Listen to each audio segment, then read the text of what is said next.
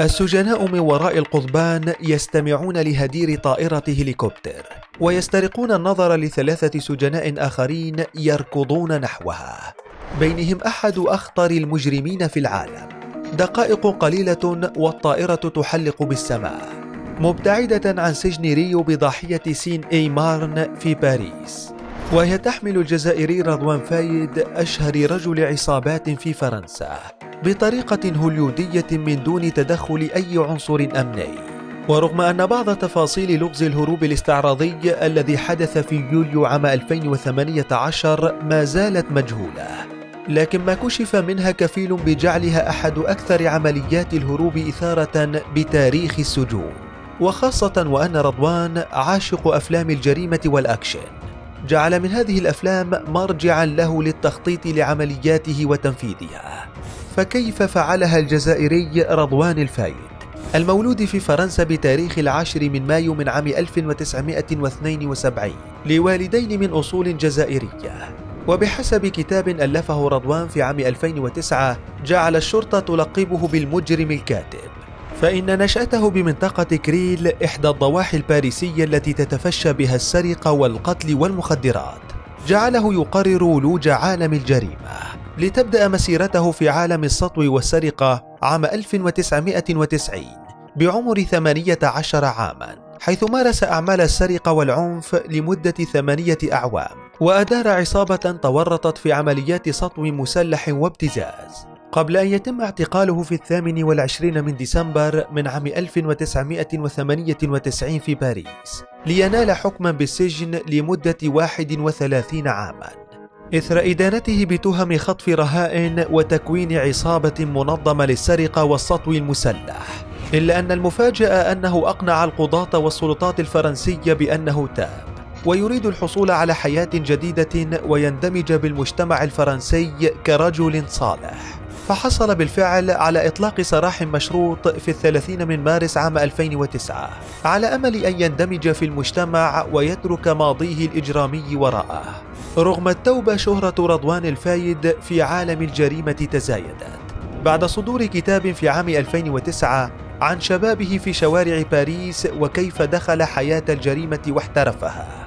إضافة لتفاصيل عن عمليات إجرامية استلهمها من أفلام هوليوود مثل الوجه ذو الندبة للممثل آل باتشينو. حتى أن رضوان تقمص أسلوب حياته وبعض خطط عملياته الإجرامية من أفلام شهيرة.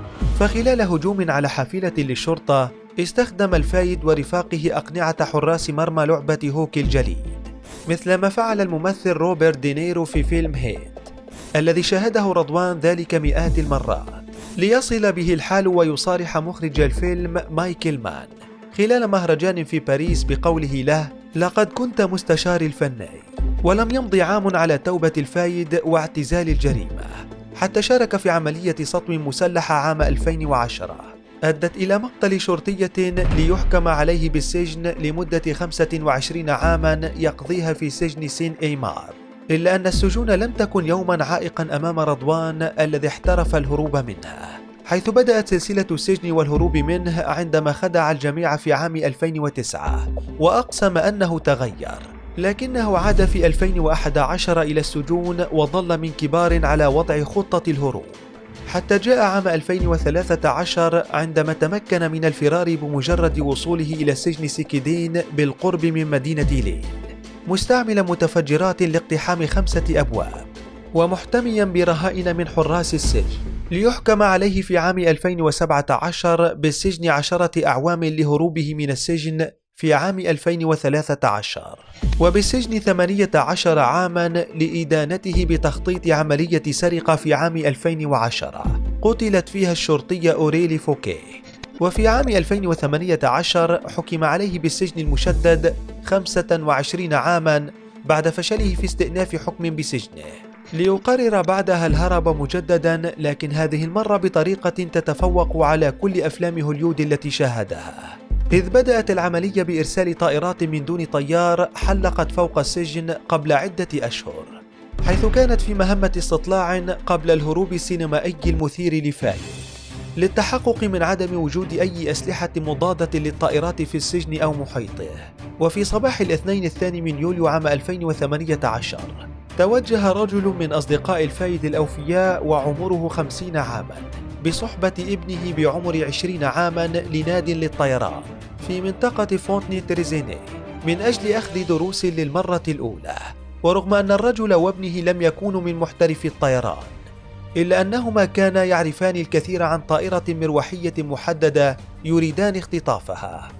رفض الطيار لطلبهما أخذ جولة بالطائرة لأنها مخصصة للمحترفين جعل الرجل وابنه يختطفان الطائرة والطيار وإجباره على التوجه إلى حقل لأخذ شريك ثالث ثم التوجه إلى سجن سود فرانسيليان حيث تم هبوط المروحية في الساحة ليترجل منها رجال مدججون بالسلاح. بينما كان رضوان الفايد في بهو انتظار السجن مع أخيه الذي كان يدعي زيارته. ومن داخل السجن بدأ بعض شركاء الفايد يلقون قنابل دخان لدى اقتحام السجن بينما بقي بعضهم رفقة الطيار أمام الطائرة في الخارج. قبل أن يصل رضوان وشقيقه ومعهم سجين ثالث إلى متن الطائرة التي حلقت بهم بعيدا نحو منطقة غونيس ليتركوا الطائرة هناك. لاستقلال سيارتين على التوالي عثر عليهما محروقتين فيما بعد في منطقة واز شمال باريس. ثلاثة أشهر مضت قبل أن تتمكن الشرطة من إلقاء القبض على الفايد مجددا في بلدة كريل شمال العاصمة باريس بصحبة شقيقه ورجلين آخرين ليتم وضعه في سجن مشدد الحراسة حيث يخضع للمراقبة كل ثانية بثانية فهل وضعت فرنسا حدا لأفلام الفايد الهوليودية الواقعية بسجونها أم أنه سيفعلها مجدداً؟